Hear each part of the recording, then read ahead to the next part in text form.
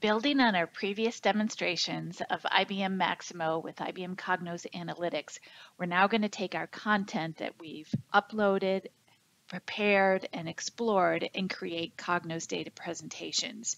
And the first thing we're going to do is create a simple report. So let's head on over to Cognos to show how to do that.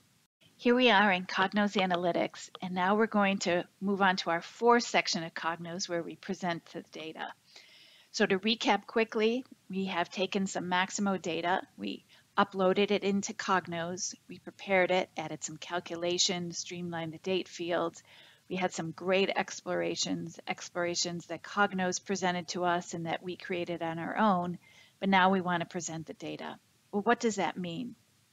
Cognos gives us three options to present our data, a dashboard that we're all familiar with, and also a report, and it also gives you the capability to create a story. A story is where you guide someone through the analytical information. Think of a newspaper article or a magazine article where you lead the user and have them all reach the same conclusion. So really powerful features here. And let's start by actually creating a report. And the reason I want to create a report first is a report I create, I'm actually going to then connect to my dashboard so I can highlight how I drill down from a dashboard into a report. So let's get started. I simply click on my report and now the first thing that Cognos says is what kind of template do you want to use? It gives you a variety of templates. I can see something very simple, one column to multiple columns.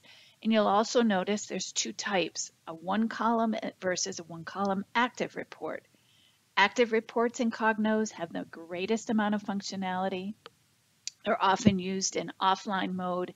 Imagine you're in a place with limited connectivity, maybe an airplane, and you want to analyze some data.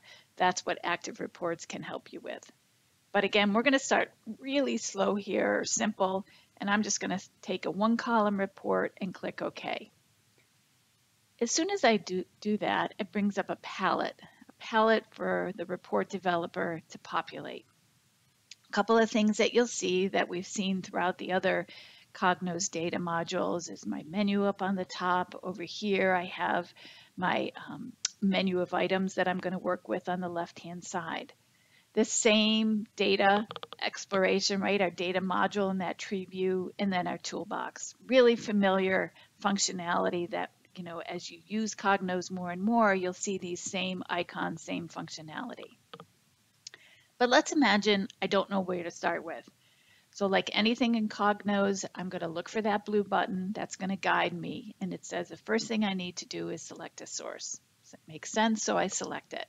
It brings up my dialog where I can navigate through my content. And I want to select the same one that I've been working with, my de demo module. If I open this up, Yep, I can start to see all those fields or attributes that I brought in from Maximo. The very top are my calculations, so this looks like the right data set for me to work with. So now I've done that, now I've got to build my report. So you can see Cognos at the top is giving you the most common you know, features or functionality to start that report building. And I see everything from a table, a visualization, cross-tab, but I'm just going to start with a simple list.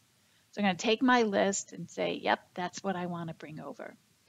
Cognos gives me the option to name this. If I'm going to have multiple objects, multiple queries in my report, I'm definitely going to want to do that so I can keep track. But we're starting real simple and we're just going to leave it like that.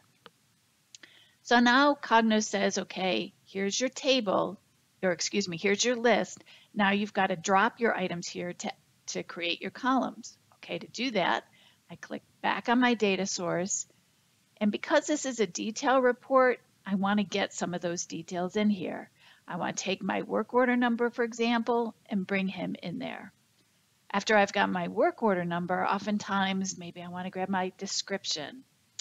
Um, I'm going to grab my failure code. That's important to me. But let's come down here and let's say we want status and um, I'm guessing here work type, I clicked work type and then clicked work priority. So let's take them both of those in there. That looks great. Um, and then maybe let's just bring something in here um, just from another field so you can see that we have that. Um, what else do we want? um, I shouldn't be so picky here, sorry about that, but um, maybe I want to grab my, I don't know, actual finished year. Perfect. So what have I got? I've got a bunch of fields over here. I have a scroll bar on the bottom. I'm not sure if you can see that, but you can see I've built up my report. That looks really good. I can see over here on the left my properties versus my page design. But now I want to add a couple more things. First, I want to give it a title. What am I going to call this? I'm actually looking at my work order analysis, and I'm going to skip ahead and I'm going to say I'm going to add failure code here because I want to add failure code as my parameter. So what does that mean? Well, I've got all this data, and we all know in Maximo we typically like to apply a query or a filter, but I don't have the ability to create that filter, you know, launching context um, in a dashboard from Maximo, right? So I'm going to add that filter here. What what am I rambling on about? What does that mean? So let me come back to my toolbox, open up my prompt, and I want to add a text box prompt. So I always think sometimes if I show, it's better than explaining. So I take that text box prompt and I'm just going to drop it there. And as soon as I do that, Cognos displays, excuse me, a dialog that I need to populate. What is my parameter name? Make sure you put this in here so your user knows what the parameter is. We don't want to leave it as parameter one. They won't know what the heck that means. So I've get, given it a name. Now I click next. Now it says, well, what is that? You know, what is that attribute? What is that field? In Maximo, we say, what are we binding it to? Well, I simply open up my package or my module, and I want to grab my failure code. Now remember, Cognos isn't doing any validation here because it doesn't know what that field is in Maximo. You have to make sure you've got that correct. And now I'm going to click Finish. So before I do anything else, I want to quick save this to make sure that I've got this correct. I'm going to put it here and I'm going to call it my WOE Failure Analysis Report. Perfect. And I'm going to click Save. All right, excellent. So now I have this report that I've created, but I want to run it. I want to run it to make sure that it's displaying as I expect. So to do that, I navigate to my top toolbar and I select the Run Actions. Cognos presents a number of different ways that I can view the content. I'm just going to select the browser or HTML it brings up a new page and it shows my prompt. I'm not sure if this dialog displays to you or not, but it goes out and looks through my data set and brings back all the values for failure codes. I'm going to go ahead and select boilers and click OK. And once I do that, I can now see the content.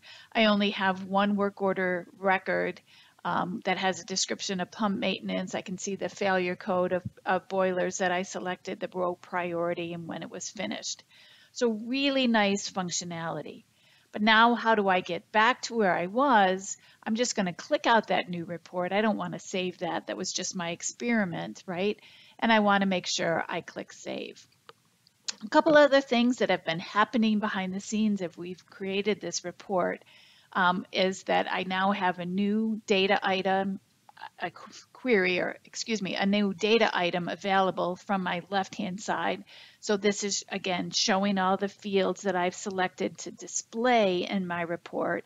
And again, this will build up exponentially with the more complex reports that you create. And also notice this edit button. This has thrown me a couple of times if I ever open up a report and I can't figure out how the heck to, how come it's not letting me make changes. Make sure your edit button is on.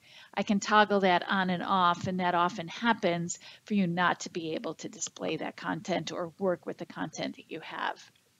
So again, what we've done here, just a, in a matter of minutes, we've created a very simple list report here of some Maximo data using a failure code, and then we'll continue to utilize this report as we move forward with our demonstrations. Thank you very much for your time.